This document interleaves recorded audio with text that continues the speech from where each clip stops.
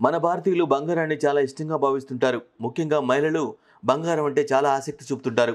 అంతేకాదు ఎక్కువ మంది బంగారాన్ని ఓ ముఖ్యమైన పెట్టుబడిగా చూస్తుంటారు. నగదును ఆభరణ రూపంలో నిల్వ ఉంచుకునేందుకు పసిడి అనేది ఒక మంచి అవకాశం అని చెప్పవచ్చు. అందుకే చాలా మంది బంగారాన్ని కొనిపెట్టుకుంటారు. వరుసగా నాలుగు రోజు కూడా బంగారం ధరలు పెరిగాయి. దీంతో బంగారం కొనుగోలు చేయాలని భావించే వాళ్ళకు ఇదో బ్యాడ్ న్యూస్గా మారింది.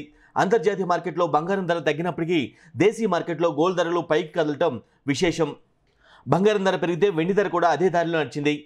హైదరాబాద్ మార్కెట్లో శుక్రవారం బంగారం ధర పెరిగింది. పది గ్రాముల ఇరవై రెండు క్యారెట్ల పసిడి ధర నాలుగు వందల రూపాయల పైకి కదిలింది. దీంతో ధర నలభై ఐదు వేల మూడు వందల డెబ్బై రూపాయలకి చేరింది. ఇదే సమయంలో ఇరవై నాలుగు క్యారెట్ల పసిడి ధర కూడా అదే ధరలో నడిచింది. పది గ్రాముల పసిడి ధర ఐదు వందల ఇరవై రూపాయలకు పెరిగింది. దీంతో ధర నలభై తొమ్మిది వేల ఐదు వందల రూపాయలకు చేరింది. పసిడి ధర పెరిగితే వెండి ధర కూడా అదే ధరలో నడిచింది. కేజీ వెండి ధర రెండు వందల రూపాయలు పెరిగి నలభై ఎనిమిది వేల ఐదు వందల రూపాయలకు చేరుకుంది. ఇక దేశ రాజధాని ఢిల్లీ మార్కెట్లో బంగారం ధర పెరిగింది. ఇరవై రెండు క్యారెట్ల పది గ్రాముల బంగారం ధర నాలుగు వందల యాభై రూపాయల పైకి కదిలింది. దీంతో ధర నలభై ఆరు వేల నూట యాభైకి చేరింది.